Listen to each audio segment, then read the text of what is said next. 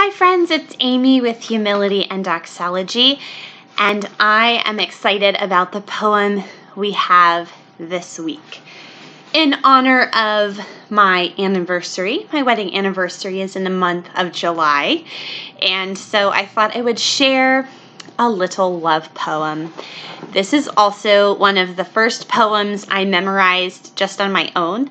Um, so it's sort of a fun story. My freshman year roommate and I found a little garden on um, a college campus and we found trees that we could climb.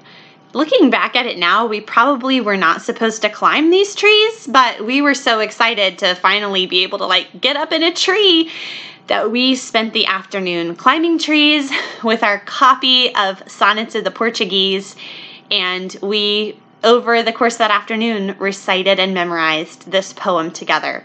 So it has a very special place in my heart, and I hope that having this chance to recite it along with me and memorize it will also bring you joy.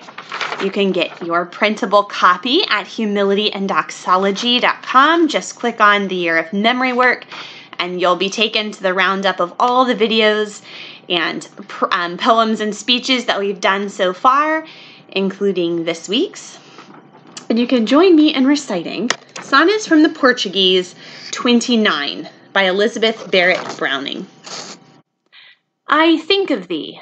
My thoughts do twine and bud about thee as wild vines about a tree put out broad leaves, and soon there's naught to see except the straggling green which hides the wood. Yet Oh, my palm tree, be it understood, I will not have my thoughts instead of thee, who art dearer, better.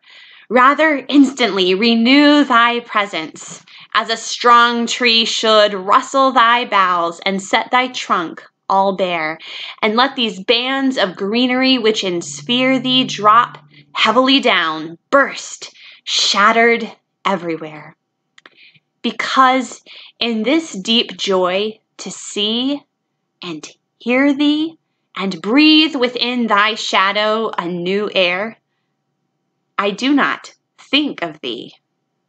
I am too near thee. I'll see you next week.